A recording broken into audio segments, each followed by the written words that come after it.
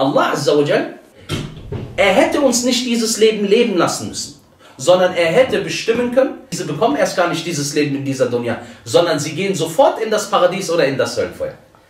Das hat Allah Azzawajal subhanahu wa ta'ala nicht gemacht. Und jetzt werden wir Allah etwas kennenlernen, liebe Geschwister. Wäre es Unrecht von Allah? Bei Allah nein. Allah subhanahu wa ta'ala ist nicht ungerecht. Allah Azzawajal subhanahu ist nicht ungerecht. Allah Azzawajal hätte uns sofort für das Paradies oder das Höllenfeuer schreiben können, ohne, uns, ohne dass er uns dieses Leben hier leben lässt. Aber warum hat er das nicht gemacht? Und das ist die Frage auf die Antwort, beziehungsweise das ist die Frage von dem Thema, was wir heute haben. Allah Azzawajal sagt im Koran, in Surah Taha, in der Ayah 134. ولو أنا أهلكناهم بعذاب من قبله لقالوا Und wenn wir sie zuvor schon vernichtet hätten, Allah Azzawajal sagt, wenn wir sie mit einer Strafe zuvor bestraft hätten, لقالوا ربنا لولا أرسلت إلينا رسولا فنتبع آياتك من قبل أن نذل أو نخزى Sie sagen, O oh unser Herr,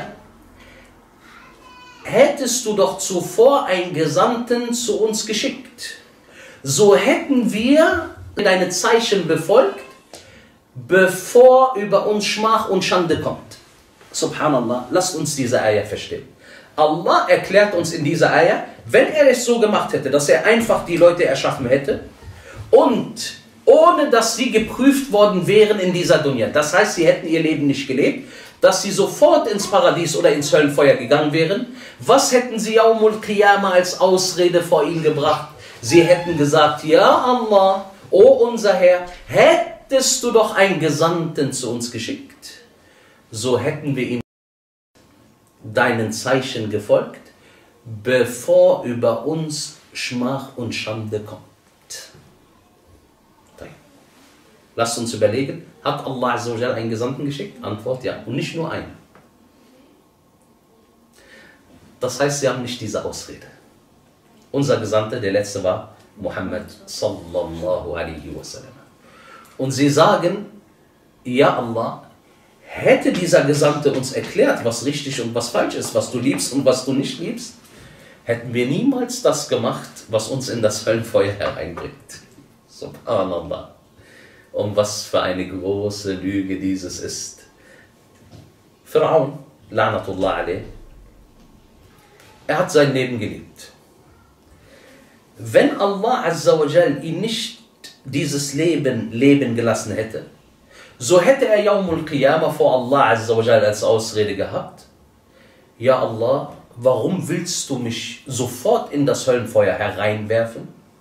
Und ich würde niemals einen Weg beschreiten, der mich zu dieser Strafe führt, der du mich jetzt aussetzen möchtest, sondern vielmehr hätte ich der Rechtleitung gefolgt. Tayyib. Das hätte er gesagt, wenn Allah ihn das Leben nicht leben gelassen hätte. Aber Allah hat ihn in dieser Welt eingesetzt und er hat das Leben gelebt. Jetzt hören wir mal, was hat Pharaon alles gemacht? Er sagte. Ich bin euer allerhöchster Herr. Er hat sich auf die Stufe von Allah subhanahu wa ta'ala getan. Pharaon hat, wie es in den Geschichtsbüchern geschrieben steht, über 70.000 Jungs abschlachten lassen. Pharaon hat versucht, Musa, den Gesandten Allahs, wassalam, zu töten. Pharaon hat Unrecht auf dieser Welt begangen. Und das alles hätte Pharaon, wenn er das Leben nicht gelebt hätte, vor Allah subhanahu wa ta'ala bestritten und gesagt, niemals würde ich so einen Weg gehen. Niemals hätte ich das alles getan, ja Allah. Aber Allah wusste Bescheid, was dieser macht und Allah hat den Beweis gegen ihn erbracht, indem er ihm dieses Leben leben gelassen hat.